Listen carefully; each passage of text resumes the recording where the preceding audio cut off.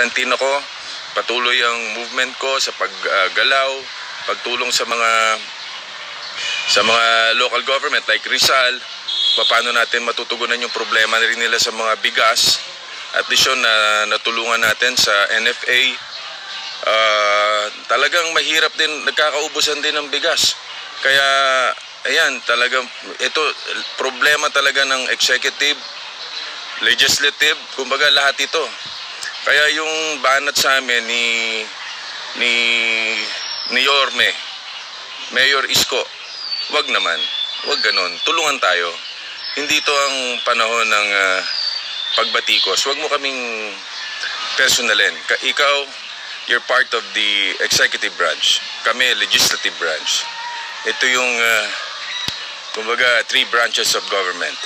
Legislative, kumbaga, executive, legislative, and judiciary.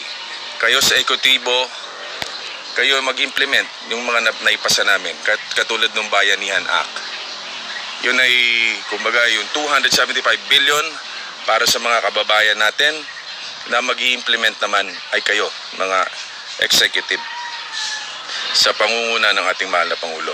Minsan, kakasama ng loob eh. No? Nag-uusap nga kami mga senador doon sa aming ah, Viber group.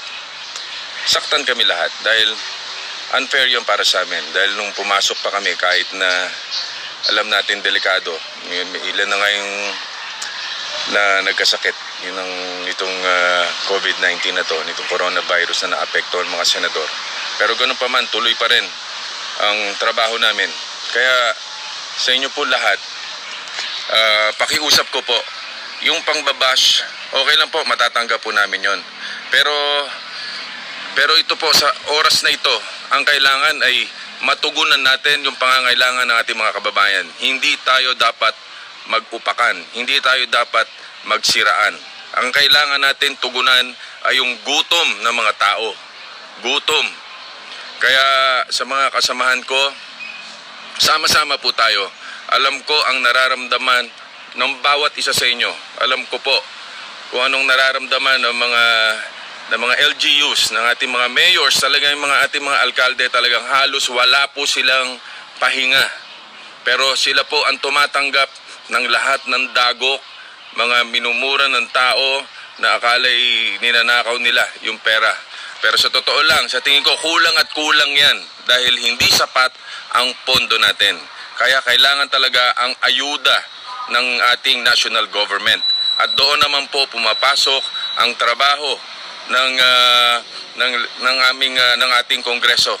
Kaya kami po anytime na ipatawag kami lahat ng ating mahal na pangulo for halimbawa additional budget no katulad nitong Bayanihan Act kung ano pang ah, kung ano pang additional na suporta para sa ating mga, mga mamamayan nakahanda po kami mga senador mga ating mga kongresista para tumug- tumugon sa pangangailangan ng ating mga kababayan pero yung yung uupakan pa kami nang dahil lang eh, gusto magpasikat eh wag naman pare-pareho tayo na nagsisilbi sa ating mga kababayan pare-pareho tayo nagmamahal sa ating mga kababayan kaya sana po tayo magsama-sama, magtulong-tulong, huwag magsiraan, huwag mag-upakan.